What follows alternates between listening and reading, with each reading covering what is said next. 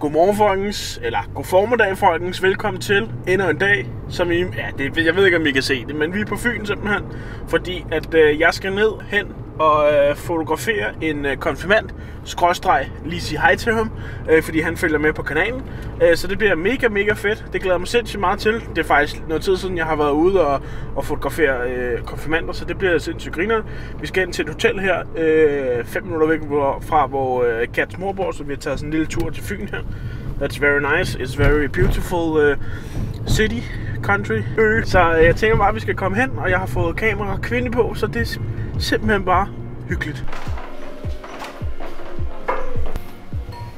Hej. Hej. Goddag. Hvem er Magnus? Ja. Goddag. Pænt goddag.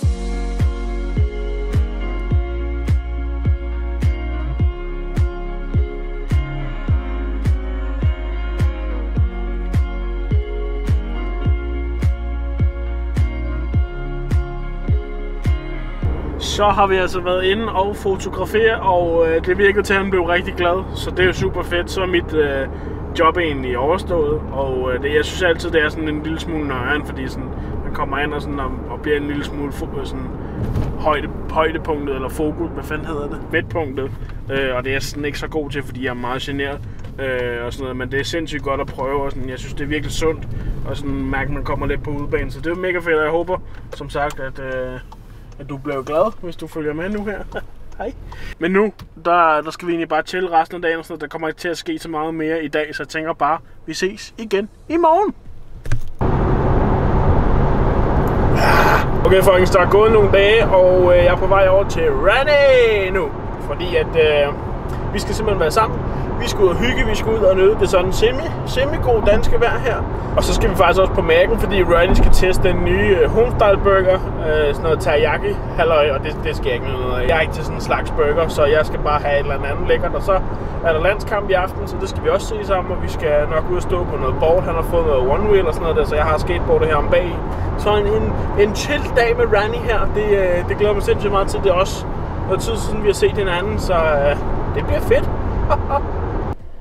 Hold kæft, det er en flot fyr, der går der.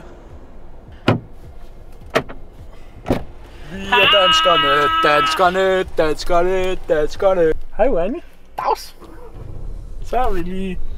Du skal prøve den nye burger der. Ja, den der Tokyo øh, Teriyaki laver jeg en uh, smagstest på på min kanal, tænker jeg.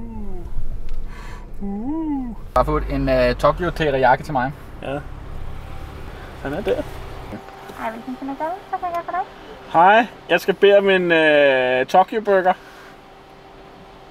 Og så skal jeg bede om uh, to tasty cheese. Har du nogle uh, sodaer i bilen? Og så skal jeg bede om en uh, stor Cola Zero og en lille Cola Zero. Yes, det var sgu dyrt. Så er der altså burger. Jeg har bestilt cheeseburger og tasty cheese, og så har jeg fået en. Fordi der åbenbart ikke er den der dobbelt cheeseburger mere, så har jeg fået lavet sådan en speciel en med ekstra bøf og ost. så det er smart. Så skal vi se at se kloven nu, og Randy han har øh, anmeldt den her over på sin kanal, så hvis I har lyst til at se det, Tokyo Teriyaki. så kan den se spændende ud, og god fedt og løgring og alt muligt. Så skal vi se kloven nu. Det er for hyggeligt. Så er vi skulle komme til Lømby Storcenter, du, fordi Randy han skal ind og shoppe. Han skal ind og være den helt dyre.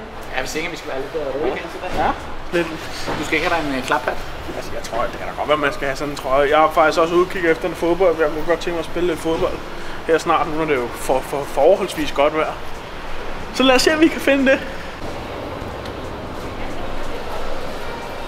Så vi kommet hjem til Rand, og øh, vi sidder faktisk lige og kigger på noget booking, hotel, halløjser, fordi at øh, vi skal næste uge til Jylland og skyde bryllup sammen. Øh, og så laver vi en lille fed tur ud af det, så der kommer også en masse fedt indhold til jer. Øh, så det kan I godt glæde jer til. Så nu har vi lige bygget et eller andet grineren øh, som vi skal på, og så skal vi højst sandsynligt til grænsen og alt muligt fedt. Så det kan jeg altså glæde jer til. Så kommer der lidt roadtrip stemning, men nu ser vi optag. Danmark skal altså spille. Det bliver spændende. Øh, så er der mad. Så er der mad. Danmark spiller. De fører altså 1-0 allerede. Så mål igen nu. Ui. Så er der fandme mad, gutter. Aftensmad her. Vi bestilt fra Café A her. Pizza bolognese. Åh, kæft, der er meget ost i, hva'? Sindssygt. Det er lige noget for fået. Ej, hvor lækkert. Lige prøve at se her? Mm.